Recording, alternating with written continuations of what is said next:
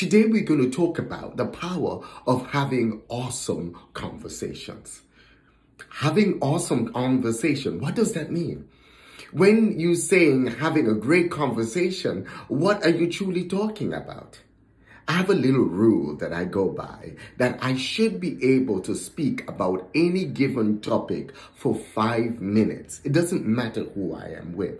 If I am with a banker, I should be able to speak some degree of banking for five minutes. If I'm with a contractor, I should be able to speak about buildings for five minutes. If I am with a teacher, I should be able to teach speak about teaching styles for five minutes. If I'm with a pastor, I should be able to speak about anything church related for about five minutes. I make that rule because that was what was taught me when I was a child. Because the fact is, when if we come into a conversation, we have to be able to bring something to the conversation. A lot of times we say people don't want to talk to us or we don't have good conversation or so and so avoids me.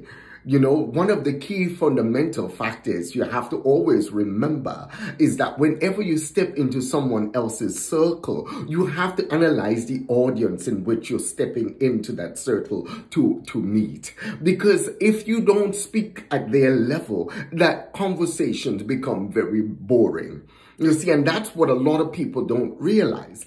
You spend all of your week lollygagging all week long. You don't read, you don't watch anything informative. And when you open up your mouth, what comes out of it is just something that just needs to just put in a trash can and throw away. And as a result of that, whenever you speak, people are turned off. Whenever you speak, people don't want to talk to you. Number one is that you have to always always ask yourself two questions. When you ask yourself these two questions, you will always remember one key fundamental factor with your conversations. You ask yourself, am I being sincere? And am I being genuine?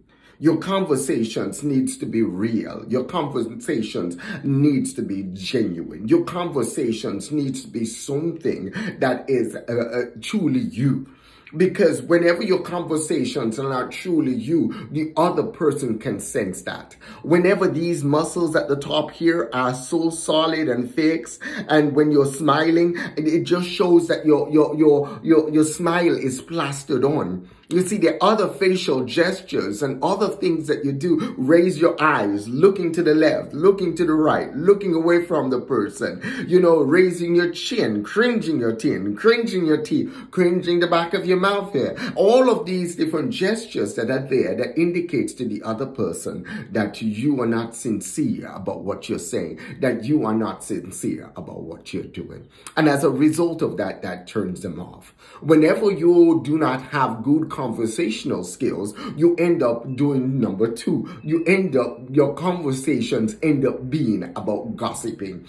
You know, you gossip, you start talking about other people instead of talking about ideas. You start talking about other people's lives instead of talking about things that you're wanting to do.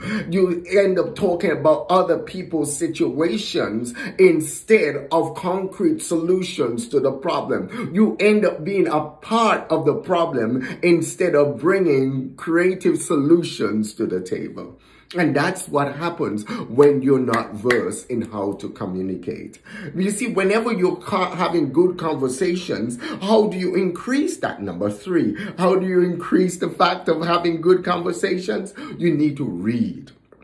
You need to read. Spend time reading. Not, I'm not talking about reading novels. I'm talking about reading wholesome things, things that, that will educate you. You know, if you pick a topic, you know, finance or banking or, or, or, or, or any uh, topic that, that's there, you pick it and you start learning about it. A good source to read will be good magazines. I get Success Magazine every month and it has some short articles in there and you can actually go to their website success.com and it's just loaded with articles, personal growth, finance, all kind of things. And it's nice and short, easy to read. So you read, read a lot. Read the good book because as you read the good book, it starts washing you. And as it starts washing you, you start building your self-confidence. You see, one of the reasons why people uh, don't have effective uh, conversations or have awesome conversations is because they don't spend time building themselves. You have to be your first project.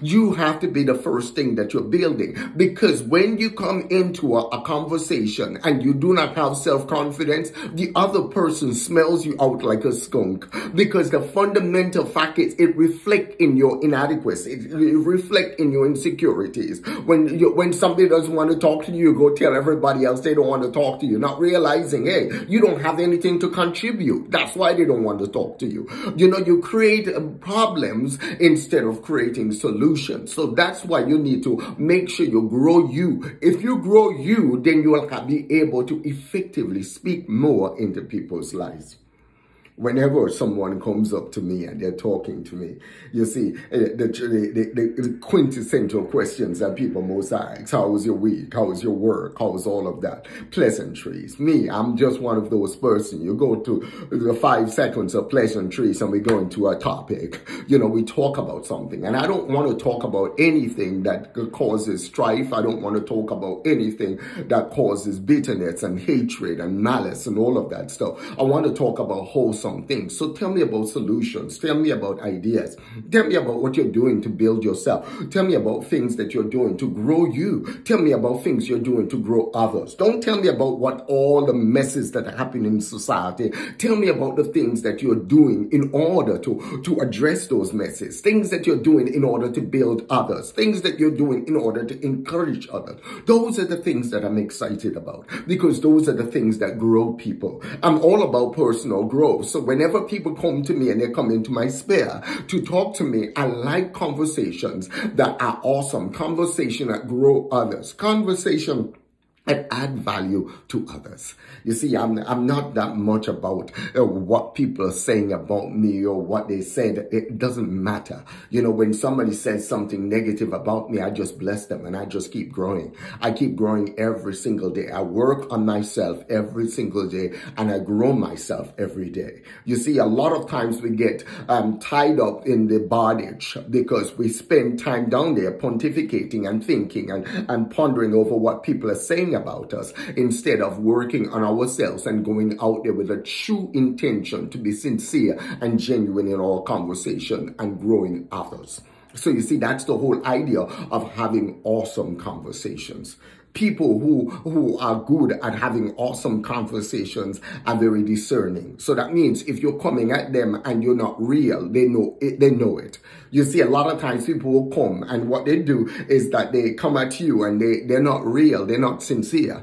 I'm, and I'm one of those person. I'm like a lie detector, sincere detector. When somebody's not sincere, if you see me react a certain way to you, step back a little bit and think because the fundamental fact is if something is not genuinely sincere, I have a tendency sometimes I, I kind of I, I pick it out real quick and my conversations are not long at all. You know, I will, I will be very nice about it but I wouldn't want to stick around because the atmosphere that I'm sensing, the, the, the, vibe that I'm sensing is not wholesome. The vibe that I'm, the vibe that I'm sensing is not real. The vibe that I'm sensing have an underlying uh, undertow to it. There's something underneath there. There's, there's a, in, in volcanic terms, there's a volcanic tectonic earthquake occurring down there. You might not be able to pick it up uh, underground. You can, might not be able to feel it, but something is on it. There's an underlying motive there's an underlying thing that you're hiding. And as a result of you hiding that,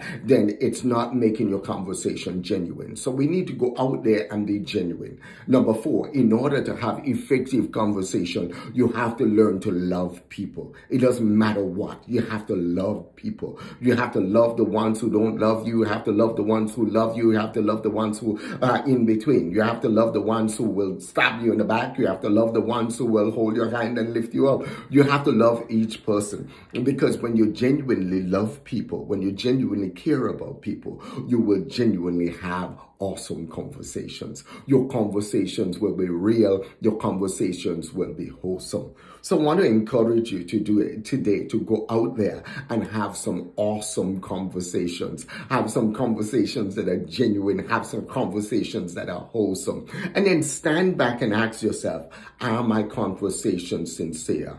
Are my conversations real? Are my conversations adding value to others? Am I truly sincere with how I deal with people? Am I truly sincere? Am I the type that talk to them good in front of their face and then talk ill about them behind their face? And then just stop doing what you're doing and learn to do things the correct way and your conversations will become awesome. So have an awesome growth day and go out there today and and and and, and live live live because you have one life to live. Don't forget hit the subscribe button below. Hit the subscribe button below. And when you hit the subscribe button don't forget to select the bell because by selecting the bell it will give you the awesome opportunity to be notified whenever i add another video. God bless you